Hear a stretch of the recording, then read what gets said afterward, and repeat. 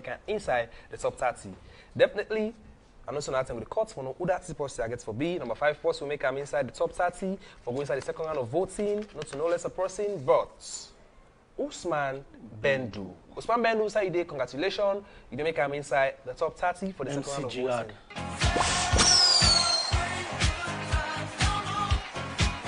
MCGR, definitely.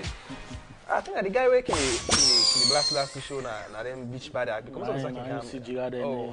na a journalist or what? Oh, okay. Well, congratulations to you, um, Mr. Bendu. You don't make inside the top 30 for going inside the second round of voting. Also inside the island though, because most people people say Nah, I don't know make inside the island. These are the second round of voting. The top 30 people they're going to get for votes for for going inside the show. Moving on, so